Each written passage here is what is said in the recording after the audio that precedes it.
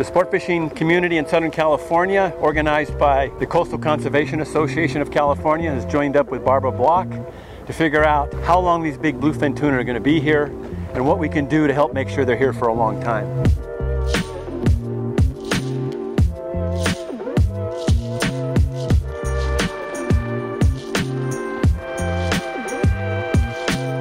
We've been studying northern bluefin in both the Atlantic and the Pacific for over 25 years. And here in the Pacific Ocean, right off the coast of California, we have one of the best stories going on in the eastern Pacific.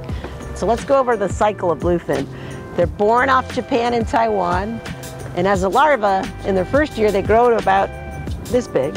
And they swim the entire Pacific, 5,850 miles over here to the California current, where from our data, We've learned that the fish actually are residents for seven years or more here in the Eastern Pacific, from just off Baja at Magdalena Bay all the way to Eureka, Oregon border.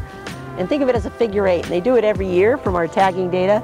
Some of the fish then will take a trans-Pacific crossing back to the Sea of Japan as a five and six year old. Some of these fish are going to the Taiwan spawning ground as eight year olds. It's a really big mystery as to when they spawn. So we have to put a tag on an eight-year-old to get it to go back.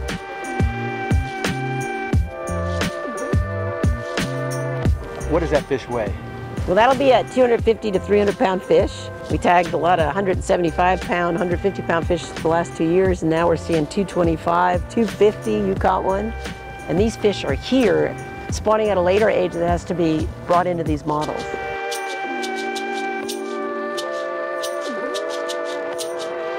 Lots of questions by fishermen in Southern California. It's been 50 years since we've had these tuna. They're here now. How long do you think these tuna are going to be with us? Well, I think that the tunas will be with us as long as we conserve the younger year classes. So by uh, having good rules that allow us to uh, let these young year classes grow.